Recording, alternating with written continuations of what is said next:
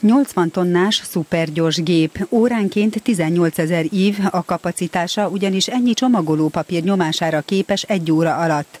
A német gyártmányú gépből ittenél a Nyíregyházi cégnél található az egyetlen magyarországi példány.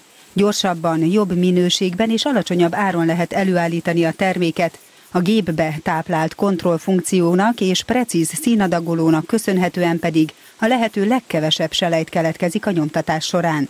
A Nyíregyházi Kolorpak Kft. az egyik vezető hazai nyomdaipari cég.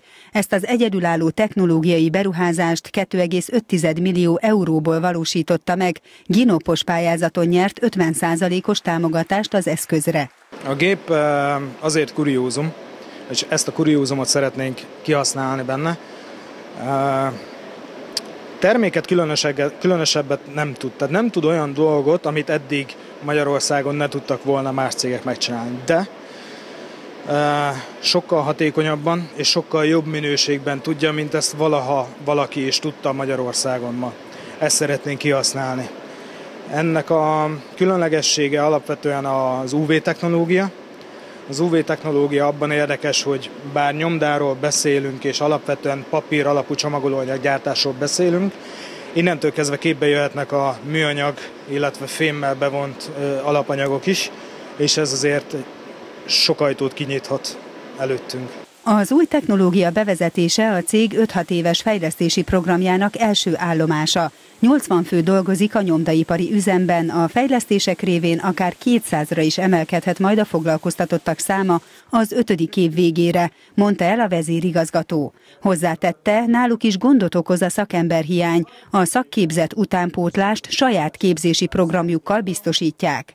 Nyíregyháza városfejlesztési programjában figyel a helyi vállalkozásokra, mondta Kovács Ferenc polgármester az átadón, a minél jobb infrastruktúrális feltételek biztosítására, a cégek digitális fejlesztésére és a munkaerő biztosításra is törekszik. A munkaerőt emelném ki, hiszen az nekünk Nyíregyházának, a megyének most még egy, egy komparatív előnye közgazdaságilag szólva, amit nem szabad elveszíteni egyrészt, másrészt ki kell használnunk.